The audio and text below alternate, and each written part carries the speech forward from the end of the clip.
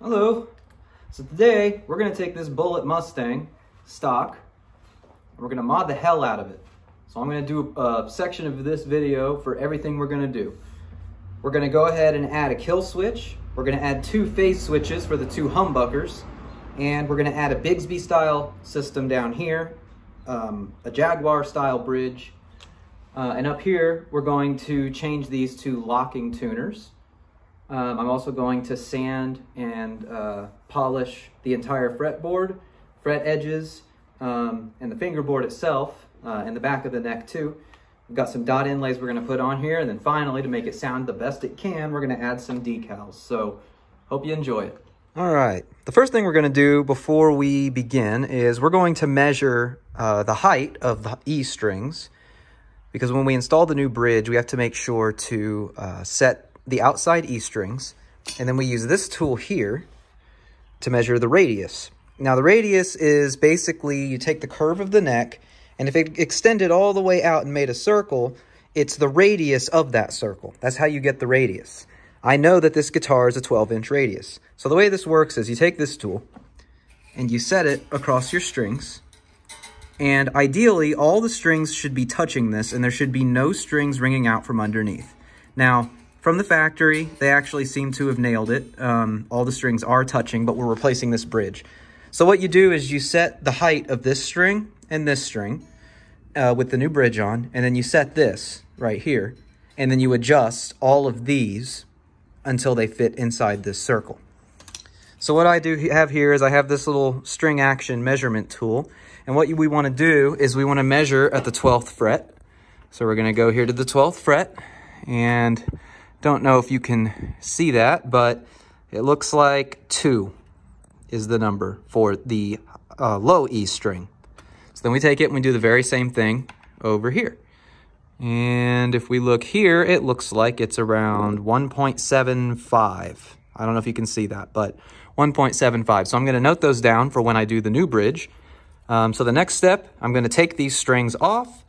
I'm going to drop in the new tuners and then drop in the new bridge. So, right, so to take these tuners off, it's really easy.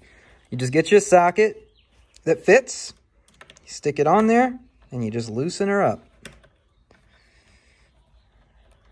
So let's go ahead and get that. It didn't take much. So this guitar came okay from the factory.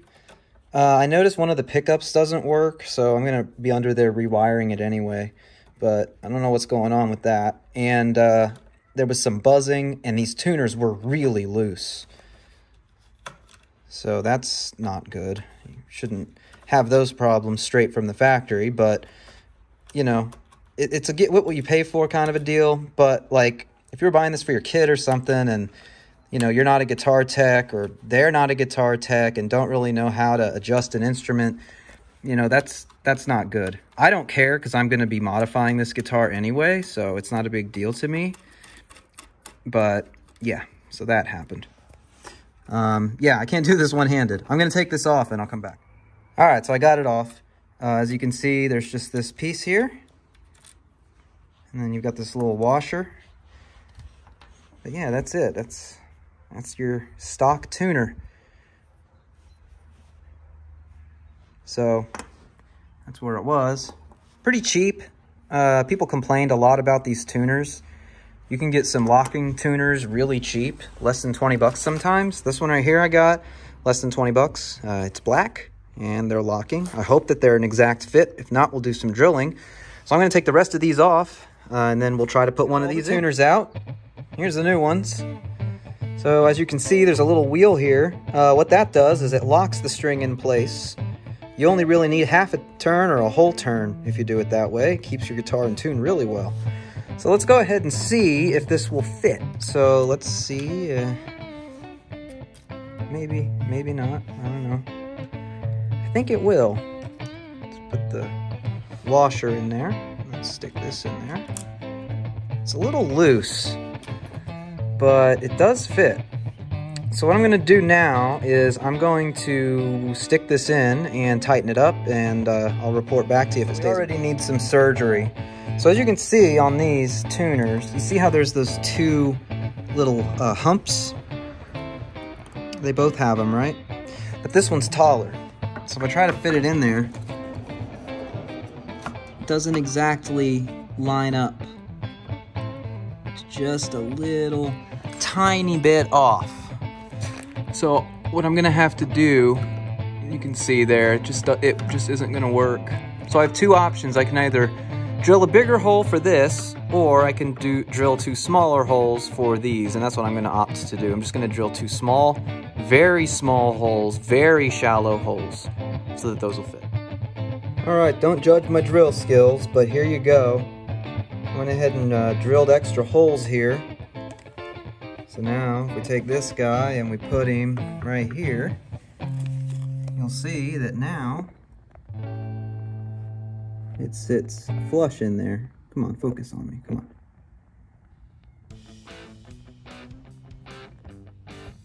So yeah, I don't know why it won't focus, that's frustrating, sorry. So yeah, uh, I'm gonna go ahead and screw these in. All right, the tuners are on. It looks great. They're a little misaligned, but that's not gonna affect the tuning. Let's look at the back. And there's not a gap in between any of these. They all look good. So yeah, let's go ahead now. We're gonna get this bridge off. So this bridge is interesting. It's one piece, you string through the bridge and out the back right here in the bullet of the string. I always called it that because my first guitar came with Fender bullets. But the bullet, little metal part of the string, pulls against the back of this bridge here. What we're gonna do is we're gonna just take these four screws out and remove the bridge. Uh, and we're gonna install a Jaguar bridge, which I have over here somewhere in this bag. Then we're gonna put the Jaguar bridge here. It's a floating bridge. Then we're going to grab this Bigsby copy tailpiece and we're gonna stick it here. So yeah, I will come back after I get this bridge So we off. got the bridge off and I made an interesting discovery. It appears that the ground wire uh, is, they just cut a hole in the middle of the chassis. The ground wire is just sitting there. So I gotta make sure that this is touching the new bridge. So I'm gonna go ahead and open that right now. See how well I can do that. You can see what it is. So here it is. Um, it's just a Jaguar bridge. Now this is a little bit different. It's kind of like a, a hybrid between a Jaguar and a Mustang bridge. So it doesn't have the stupid grooves like the Jazzmaster or the Jaguar, um, but it's the same shape. It's got that little, what do they call it, cigar box shape. So the way that this goes is it just kind of sits right here. So I'm gonna go ahead and install that and uh, I'll be back after that's done. So before we stick this bridge on, um, I almost forgot to mention something enormously important when installing a bridge. So there's something called scale length, and what that is, is it's the length from the nut, which is this white piece right here, to the saddles on the bridge. Uh, most Fender guitars are like 25 and a half, Gibsons and Epiphones are 24 and 3 quarters. This guitar is a 24 inch um, scale length. So what that means is we need to measure from here all the way down and mark where 24 inches is and make sure that our saddles are in the middle, right at 24 inches. The reason I suggest that is this is an adjustable saddle. You can move these each forward or backward. So if it's sitting right at 24, you can move it forward or backward when you're adjusting that intonation. So let's go ahead and measure that right now. Uh, I have this yardstick right here. So what we're gonna do is we're gonna take this and we're gonna set it right there. Make sure that it's nice and flat, okay? All right, and there's your 24. So what I'm gonna do is take something and mark it right there. So I'm gonna grab some tape and stick it there. All right, so I got it marked off for the bridge. Problem is, pickguard's in the way. So that line right there is the line for what's, you know, the straight line and the center line right there. And it needs to fit right over it, but it can't because the pick guard's in the way. So what I'm gonna need to do is take the pick guard off. The pickguard off, and I made another interesting discovery. It looks like they painted the inside of this with the uh, conductive paint to prevent buzzing. I will say out of the box when I plugged it in there was no, no humming or anything like that. So that's pretty cool. There's your pickups. Still not sure why this one isn't making any sound.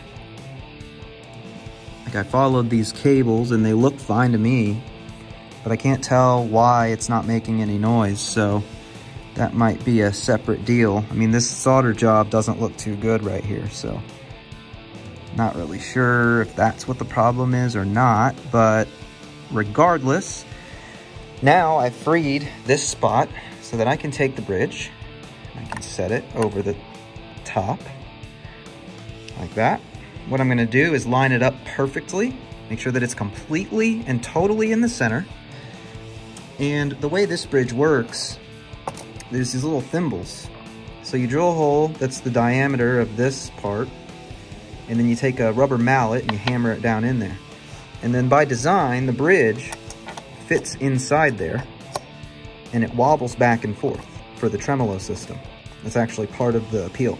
People say to wrap these in tape to keep your guitar in tune, but that defeats the purpose. The original, the purpose of the bridge moving that way is so that it can rock back and forth as you use the tremolo. So you kind of defeat the purpose of your tremolo and uh, if you're locking that in place. To each their own, I guess. But I'm gonna go ahead now and I'm gonna mark this off, make sure it's exactly in the center, measure this diameter, and then I'm going to drill my holes. New bridge is in. There's the new posts. There's that ground wire. I'm gonna have to figure out what to do with it. But yeah, so now we're gonna put the Bigsby on. I went ahead and got this installed. What I did was basically I just lined it up. Um, I put these strings in here and ran them down made sure that they fit in the saddles all the way down to the tremolo system, vibrato system, I should say. Looks pretty good. It's in there pretty secure. There's a little spring here that's bolted into the top. So yeah, it's coming along. Next, uh, I'm going to work on the pickups. Um, I'm gonna add some switches to the pick guard. I'm going to cut the, uh, the end of the pick guard here to make sure that this bridge can fit on it because this is within the way. And then I'm going to sand and polish everything and put on the decals. So I ran into a little bit of an issue. Um, I looked at the neck humbucker and uh, it looks fine. The wiring looks a little bit loose, but I'm not really sure why um, it's not it's not working. It won't it won't turn on. I hope it's not the switch although if it is, that's very easy to fix. So probably what I'm gonna do is swap out the switch, and I'm also gonna swap out the neck humbucker with one from my Made in Mexico 2007 Stratocaster. Um, it was an SSH, I modded it to an SSS, so I might take that humbucker out and put it in the neck position of the Mustang. So I'm gonna do a quick research here, uh, look up some wiring diagrams, and we'll see what happens. Success! So I took this pickup out of my Made in Mexico 2007 Stratocaster, this humbucker, and I just put it in the place of the one that the guitar came with, and it works. I just wired it up the same way, as you can see there. Now these humbuckers that come with the Mustang, they're wired with only two wires. Now inside this green casing, you have your normal four wires plus bare, but they just wired them together to make it simple. It's only a three-way switch. As you can see, this Fender humbucker, which has no part number, so I have no idea what humbucker it actually is, has four cables. So what you do is you take your white and black, now this is for Fender. Every, most pickups are different colors depending on the manufacturer. I took black and white and I soldered them together and taped it off with electrical tape. Green is hot. You put that in the selector position right here. So this would be the position this way. And then you take your red and your uh, bare, those are your ground. And I just grounded that to this common ground position here. Now, looking in this cavity, I noticed that there's not really room to put all the switches I wanted to put in here. I wanted to put two phase switches and a kill switch, but there's just not room. So what I've decided to do is just do the kill switch, which is right here. Very, very simple switch. It's a momentary off-on switch, so it does nothing when it's not being pressed, it does something when you press it. And the easiest way to do this is you wire the switch itself to ground. One end of the switch goes to out to the uh, input or output hot, and the other end of the switch goes to the output ground. And the way this works is when you press this button, it shorts out the entire guitar because it connects the ground to the hot, which is what a kill switch is. You press it and it shuts everything off. You let go and it all comes back. So I'm doing that just because I always wanted one and I never really had the opportunity to, to do it. And it's very, very simple. It's just two solders and, well, three if you count the ground. So I got to find a place to put this. I'm thinking of putting it like right here next to this switch here. I'm not really sure yet. I have to check the cavity and make sure that there's room for it first. So uh, yeah, all you have to do is just drill a hole for the circumference of this. And then you put this through and then you tighten a washer around it and then solder. So I'm gonna go ahead and do that. We got the kill switch installed. So that's cool. And uh, yeah, so we got the pick guard put back on. So now we're gonna polish her up. But before we do that, let's go over here. Turn on the amp. I already did this, but I wanted to do this on the video. All right, so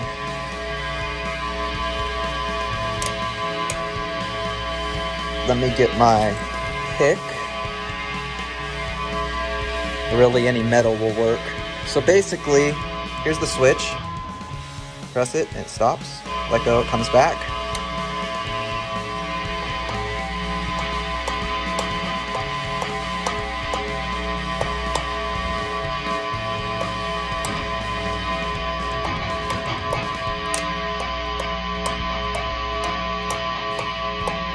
So what I'm doing there is, uh, if you can hear the feedback in the amp when you press these poles, then uh, they're on. So this is a purposefully dirty channel with no noise gate uh, for the purpose of this test. So yeah, now I'm gonna go ahead and screw this control plate back on and polish it up and sand the neck. So the sanding and finishing is gonna happen a couple of ways. Um, the first thing that I do I get some Old English. You can also use this actual lemon. I haven't even opened this because I like the Old English better. Um, or just some lemon oil. And you get you some steel wool, 000 is what I used. And you put a little bit of dab of this on the steel wool, and you go through each fret, and you just lightly, with the steel wool, clean it. Um, and then you also can take the steel wool and you can do the edges as well. And you can do the back of the neck if you want. Um, what this does is it prevents that scratchiness that happens all down the neck. It polishes it up real good and uh, the cracks will soak up this oil, keep it moist. So I'm gonna go ahead and do that now. The polishing's all done with the steel wool. Now I don't know if you can tell, but ooh, it's nice and smooth now. Uh, believe it or not, the fret ends are actually not sharp at all, so I'm not even going to bother sanding that. So the last thing to do is uh, polish the body. Oh, one other thing. The nut needs to be lubricated, and you can use a pencil for that. All you do is you just kind of do this. You do that in each of the grooves, and that graphite will actually lubricate the strings for you, keep you in tune. So that's actually a uh, very handy pro tip for you. All right, I'm gonna clean up the body and string it. So we got the strings back on. What I'm gonna do now is what we talked about at the beginning. I'm gonna take this ruler here and we're gonna measure the 12th fret of the E string, this one, and then the 12th fret, fret of that string. Um, we're gonna set both of those to what they were before.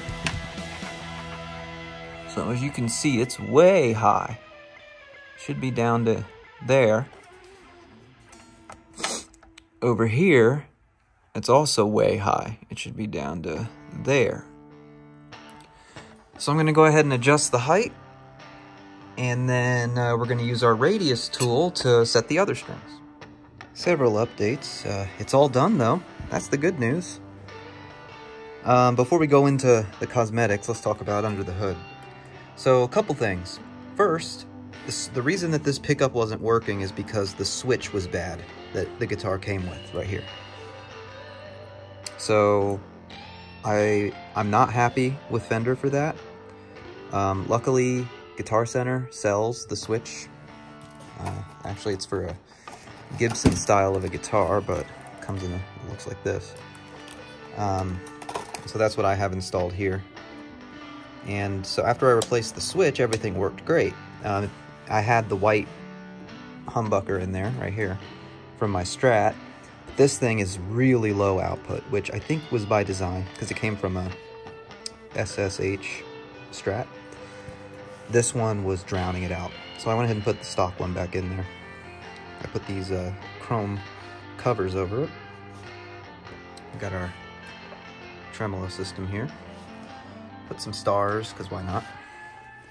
This emblem here is actually from uh, my 1995 Mustang that I no longer have. Um, I replaced it because it was the other one was broken, so I replaced both of them. Kept this one, and it was just sitting in a drawer, so I thought, hey, it's a Mustang, put it on there. I got these uh, inlays from Amazon. I went ahead and installed those. They look great. Put a star up top. So yeah, that's the whole thing. I'm really happy with it. Stays in tune pretty well. I intonated it. Um, I got the bridge height set, or uh, the string height, I should say. Now the problem is I can't get it as low as I want to without it buzzing out right here. So I'm probably gonna have to shim the neck. So if I do that, I'll make an update video. For now, I'm just gonna leave it as it is.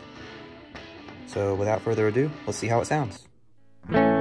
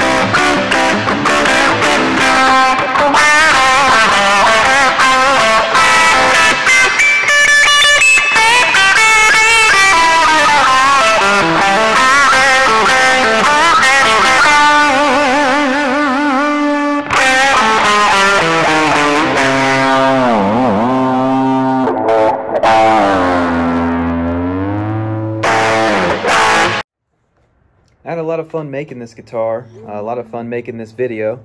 Um, here it is, good shot of it. But yeah, um, it's my new favorite guitar. I gotta say, my overall review of it, as it as it was, you know, for Squier and Fender, I probably would give it like two and a half or three stars. And I only say that because it came broken. The switch was broken when it came, and um, I'll hold it up so you can see it better. Uh, the switch was broken when it came. I had to go out and buy a new switch to fix that.